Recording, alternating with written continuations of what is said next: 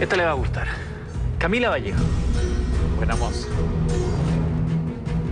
¿Qué le parece que ella se esté presentando ahora a diputado? Bueno, eh, me parece bien, porque así se, se canaliza su, su, su poder fáctico que tenía.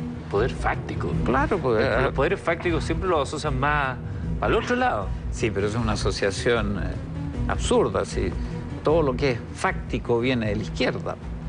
Entonces no había más, más fáctico que la izquierda en el mundo entero. Pero ella dirigió a los estudiantes, tuvo un papel muy destacado. Es buena moza, tiene bonitos ojos y, y- y dice lo que piensa.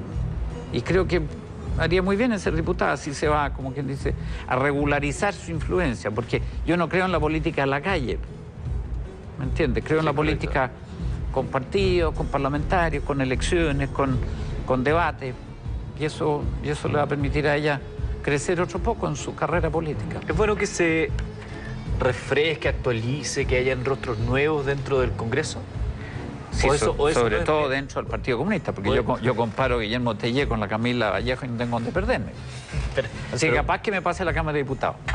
Ahora usted lo dice en- Y la voy a sacar a bailar samba como la bailaría samba con Camila Vallejo. Pero feliz, yo creo que ella no, no me va a aguantar nomás.